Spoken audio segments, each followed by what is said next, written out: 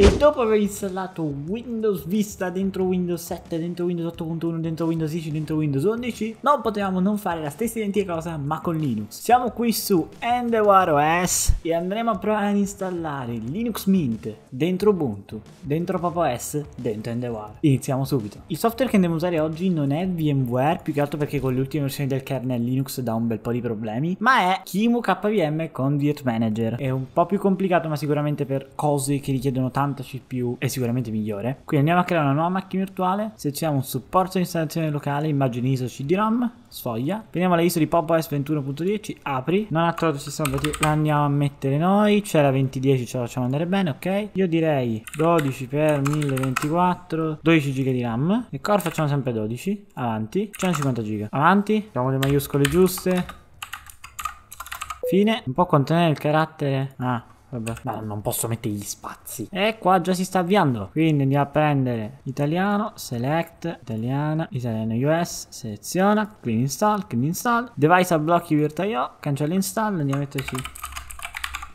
next.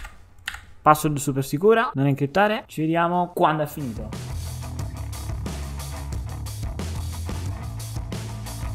Ok, riavvio il dispositivo e riavviamo appunto la nostra bellissima macchina virtuale. E vabbè, forza, settiamolo. Sì, sì, Fiumicino, sono a Fiumicino, lo giuro. Inizio a usare PopOS. Ora, una cosa che ho notato è che non c'è l'autoridimensionamento, perlomeno su PopOS, quindi mettiamola a mano, dopodiché facciamo dimensione a schermo sempre, così. E prima cosa che dobbiamo vedere è se la virtualizzazione è attiva, in teoria no. Comunque dobbiamo fare un comando che sto prendendo qui dalla documentazione di Ubuntu. grep, trattino C, vmx, svm, slash proc, slash cpu info. È spuntato 0 e quindi se è spuntato 0 vuol dire che non abbiamo la virtualizzazione attiva è normale, quindi spegniamo un attimo la macchina virtuale, andiamo su CPU, XML e cambiamo da host mode a host pass questo invece secondo la documentazione di Fedora ho provato ed effettivamente funziona. Fruity scrive così THRO UGH sì. Quindi applichiamo e già che ci siamo attiviamo anche la condivisione della cartella per passare la ISO. Quindi dobbiamo andare su aggiungi hardware file system mount andiamo a prendere il percorso sorgente che è questa cartella share che ho qui apri. Percorso di istituzione slash sharepoint. Fine. E stavolta avviamo la macchina virtuale. Quindi rifacciamo il comando di prima e continuano ad andare. Porco, ho sbagliato qualcosa. E poteva mai andare se io sbaglio a scrivere? Infatti adesso fa 12 che è il numero di core che ho dato. Ok ok ok va bene va bene. Se sbaglio a scrivere non poteva mai andare. Adesso che l'abbiamo fatto dobbiamo montare il eh, coso. Vabbè sudo mkdir share. Mount d 9p o trans uguale virta.io ok quindi se vado su faccio cd slash share nautilus. Ok abbiamo la ISO di ubuntu. Quindi adesso andiamo a fare andiamoci da qua dalla vm install kim and Manager Ubuntu perché sono un paio di comandi non me li ricordo a memoria cerchiamoli da qua per essere sicuri. Ok quindi andiamo a copiare questo comando cosa che dovreste sempre fare copiate comandi con sudo da internet e... sì yes 266 ora lui installa un bel po' di robe poi dobbiamo fare sudo add user yauntech libvirt. Faccio parte del gruppo libvirt e poi mi sembra che era hvm esatto Adesso installiamo anche Virt Manager. Riavviamo un secondo la macchina virtuale perché l'altra volta, l'ultima volta che ci ho provato non andava finché non riavvii. Andiamo qua, Virtual Machine Manager. Ok, creiamola. Andiamo a prendere la ISO che è appunto su Share. Eccola qua, apri. Appunto 2104, ce la facciamo andare bene. 8192, facciamo 8 core, ma anche 10 dai e facciamo sono 10.240 avanti. Abbiamo 130 giga liberi facciamo 125 vai fine. Ok, quindi italiano, installa Ubuntu, vai, vai, vai, non ti bloccare che, ok, installa, avanti, Yauntech, sì, Yauntech standard su tutto, va bene, passo decorta stica avanti e ci vediamo quando è finito!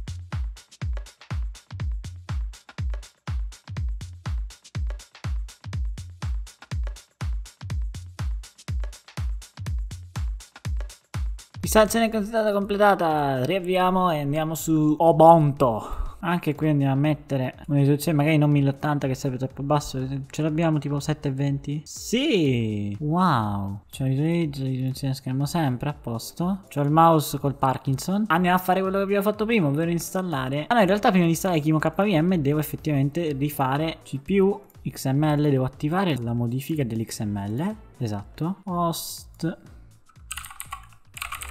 applica qua vai playa quindi andiamo qua andiamo ad abilitare Kimio e vediamo se riusciamo a installare Mint. Allora, intanto controlliamo sempre con questo comando. 10 a posto quindi è giusto. Installiamo queste robe. Incolla. No non installare annulla annulla comunque bello Iontek 1 standard PC Q35 H9 2009 fermo al 99% ok quindi di nuovo sudo user Iontek lib virt e installiamo virt manager. Ok quindi come prima riavviamo perché non si sa mai. No sospetto Ah, dobbiamo fare prima però le cartelle condivise, quindi in realtà dobbiamo arrestare, ng hardware, file system, mount, percorso sorgente, Così, vediamo. Quindi devo andare nel terminale e scrivere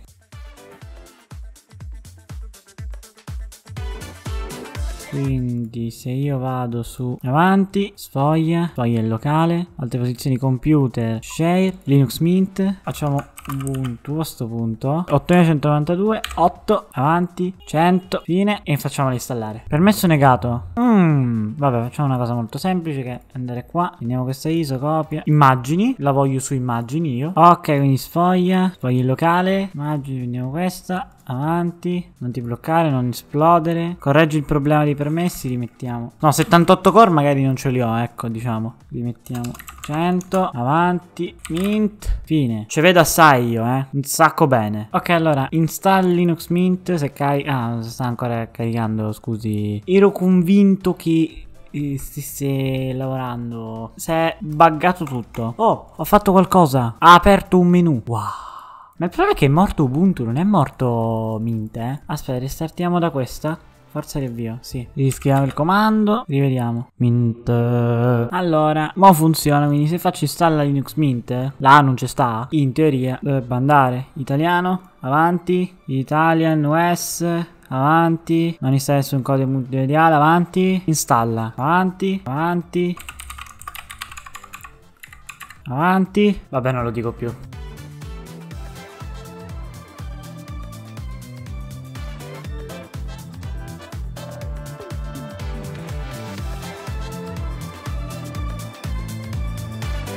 Ok, allora, abbiamo qua finalmente Linux Mint, si è installato, funziona. Ora, siamo più o meno, sto riflettendo, allo stesso livello a cui eravamo con Windows perché Endeavor è come fosse 11 Pop è come fosse 10 Ubuntu è come fosse 8.1 quindi Mint è come fosse 7 da 7 a vista non ci siamo riusciti ad andare. Quindi adesso so che in teoria qua abbiamo finito secondo il mio obiettivo ma voglio andare uno step ancora oltre. Voglio provare a installare l'Ubuntu dentro Mint. l'Ubuntu è una distro molto leggera ce la dovremmo fare. Quindi rifacciamo lo stesso step di prima. Install and virt manager Ubuntu. Scrivo Ubuntu tanto vabbè finché sono Ubuntu based è leggermente veramente piccolo. Magari facciamo una cosa. Schermo intero. E anche qua, vabbè, tanto. Ok, no, perché non ci leggevo fisicamente. Però, cioè, un po' lento. Uh, pochino.